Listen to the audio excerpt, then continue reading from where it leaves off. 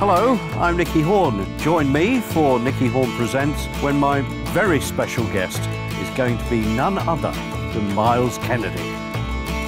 In the year of the tiger, I won't weep and. And I was actually out in my lawn one day doing some yard work, and I remember hearing, In the year of the tiger, I won't weep and moan. I don't know what that is, but I, I kind of like it. Well, what is the year of the tiger?